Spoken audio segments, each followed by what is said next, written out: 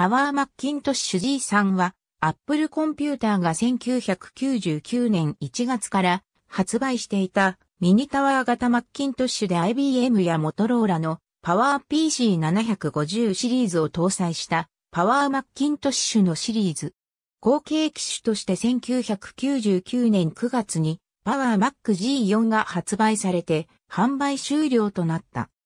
パワーマッキントッシュ G3 はパワーマッキントッシュ G3DT MT シリーズから刷新した筐体 L キャピタンを用いたモデルであり、側面のロックを外すだけで容易に内部アクセスができる筐体デザインだけでなく、ロジックボードも新設計の寄せ見手である。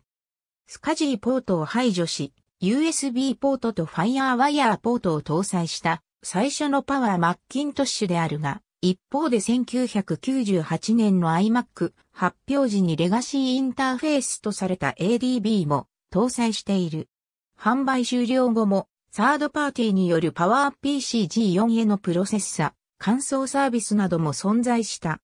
1999年1月のマクワールドエキスポで発表された 300MHz、350MHz、400MHz の3機種。同時に Apple Share IP6.1 をバンドルしたマッキントッシュ G3 サーバーも発表された。1999年6月にマイナーアップデートとして 50MHz 高速化された 350MHz、400MHz、450MHz の3機種。同時に Apple Share IP6.2 をバンドルしたマッキントッシュ G3 サーバーも発表された。